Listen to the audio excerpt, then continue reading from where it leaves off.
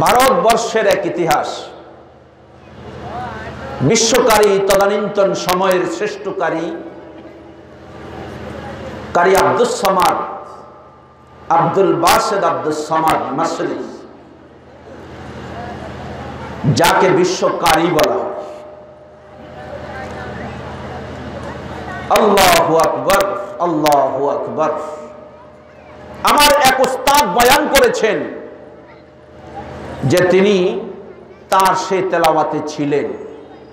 দারুল উলুম দেওবন্দের আহ্বানে সেই কোরআন শরীফের তেলাওয়াতের আয়োজন করা হয়েছিল।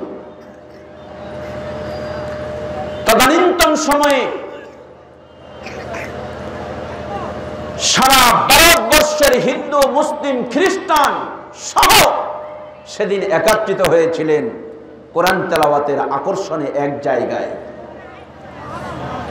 কারি আব্দুল সামাদ কারি আব্দুল বাসেদ আব্দুল সামাদের তেলাওয়াত শোনার পর তাৎক্ষণিক সময় কোরআনের আকর্ষণে নব্বই হাজারের উপরে বিধর্মী ইসলাম গ্রহণ করেছে।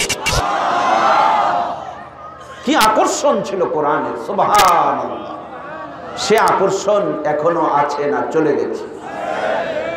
তাই আমার পর্যন্ত থাকবে, জোরে বলুন, ঠিক না ব্যাঠি সূর্য যতদিন পশ্চিম দিক থেকে উদিত হবে না, ততদিন পর্যন্ত এ আল্লাহ পাক এই জমিনের মধ্যে রাখবেন। সুবহান প্রিয় হাজরিন আর একটা ঘটনা। কারে ইব্রাহিম মিশরি ভারত বর্ষে যখন স্বাধীনতার যুদ্ধ হলো তৎকালীন সময়, স্বাধীনতার ভারত উপমহাদেশ মুক্ত করার যুদ্ধে যখন মুসলমান, হিন্দু, বৌদ্ধ, খ্রিস্টান, স্বদেশীয় সবাই একসাথ হয়ে ব্রিটিশ হটাও আন্দোলন বা যুদ্ধ করেছে। তখন হিন্দু, বৌদ্ধ, খ্রিস্টান ঐক্যবদ্ধভাবে লড়াই করেছিল। তৎকালীন দিল্লিতে একটা সভার আয়োজন করা হলো। সেখানে হিন্দু, বৌদ্ধ, খ্রিস্টান, মুসলমান সবাই আসলো। সভাপতি বানানো হলো মুসলমানদের একজন লিডার মাওলানা আল্লামা মোহাম্মদ আলী জৌহার তার নাম। তিনি ছিলেন সেই মঞ্চের সভাপতি। মহাত্মা গান্ধী ছিল। সেখানে হিন্দুদের বড় বড় মনীষীরা উপস্থিত ছিল। দিল্লির সেই মসজিদ, দিল্লির সেই উপকণ্ঠে টাউনে সে আয়োজন হলো। তৎকালীন ভারতের মাইসুরের এক মসজিদের ইমাম, যার নাম ছিল কারি ইব্রাহিম, সে মিশর থেকে এসে সাপ্তাহিক জুমা পড়াত। তার চেহারাও যেমন সুন্দর ছিল, তেলাওয়াতও ছিল, তেমন আকর্ষণীয়, সুন্দর।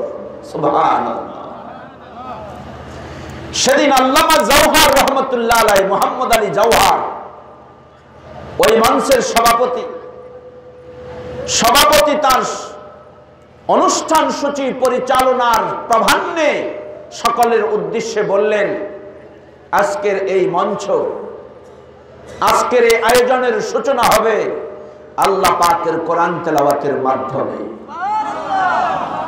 কিন্তু সেখানে একক মুসলিম গোষ্ঠীর কোনো আয়োজন নয়। সেখানে আয়োজনটা ছিল ব্রিটিশ হটাও আন্দোলন, এর বিরুদ্ধে একটা প্রতিবাদ মিটিং। বিশাল, দশ লক্ষাধিকের মতন লোক ছিল সেখানে।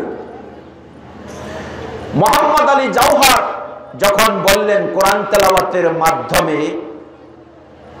এই সমাবেশ শুরু করা হবে, তখন হিন্দু, বৌদ্ধ, খ্রিস্টান বিভিন্ন ধর্মের লোকেরা, যাজকেরা, মনীষীরা উঠে বলল, এটা মুসলমানের একক কোনো সমাবেশ নয় যে আপনি কোরআন দিয়ে শুরু করবেন। আপনি যদি কোরআন দিয়ে শুরু করেন, সেখানে খ্রিস্টান, ইহুদি, নাসারা, হিন্দু, বৌদ্ধরা যার যার ধর্ম পড়ার চেষ্টা করবে। ত্রিপিটক, গীতা বেদ, সামবেদ, যুজুর্বেদ, অথর্ববেদ, এগুলি তারা পড়ার জন্য চেষ্টা করবে। তখন আল্লামা মোহাম্মদ আলী জৌহার আসলে আপনি মুসলমান, আপনার অন্তরে যদি মানুষের প্রতি হেদায়তের আকর্ষণ আপনার অন্তরে জপনা থাকে যে আমার আমল, আমার আখলাপ আমার উদ্দেশ্য হবে কোরআনের দাওয়া মানুষের মাঝে ছড়িয়ে দেওয়া, মানুষের প্রতি বিশ্বাস রাখা, যে আমি আল্লাহর কথা যদি বলি, কোরআনের কথা যদি বলি হয়তোবা কোরআনের আকর্ষণে কোরআনের আকর্ষণে হয়তোবা আল্লাহ তাকে হেদায়ত করতে পারে। এই ইচ্ছা শক্তি যদি আপনার ভিতরে থাকে, আল্লাহ পাক রব্বুল আলমিন ওসিরেই তা ঘটিয়ে দেন, কবুল করে নেন।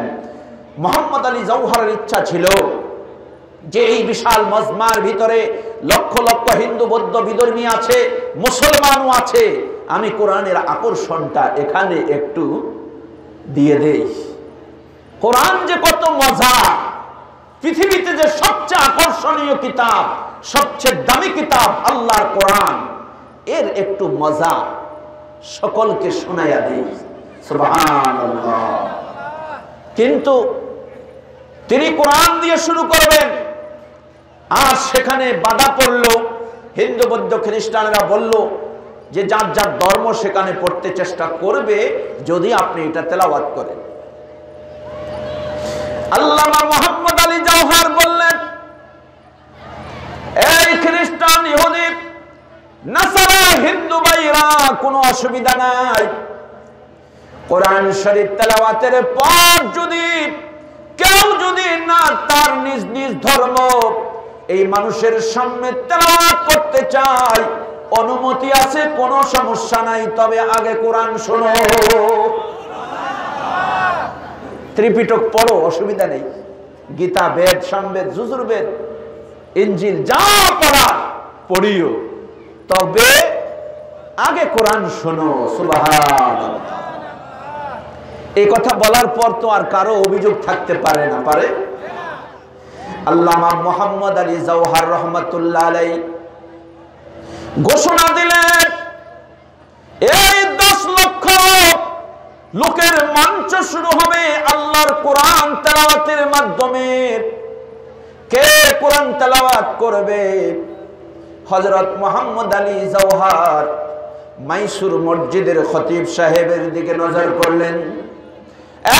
ইব্রাহিম, তাল হেইনা আসো এদিকে আসো, মঞ্চে চলে আসো। তিনি মঞ্চে আসলেন।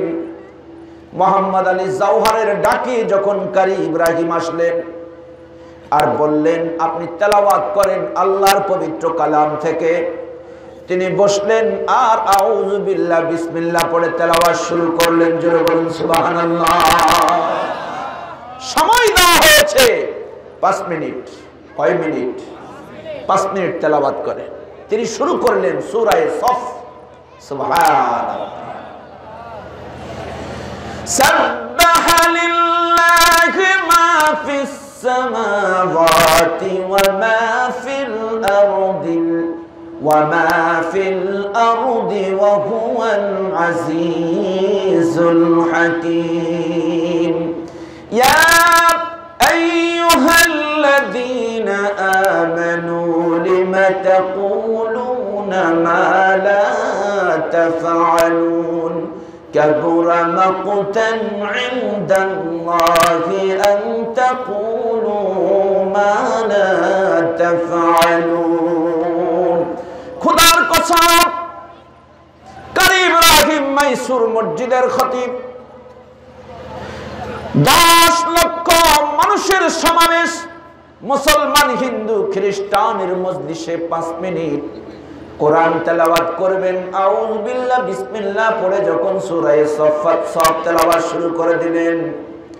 খোদার নামের কসম পাঁচ মিনিট চলে গেছে।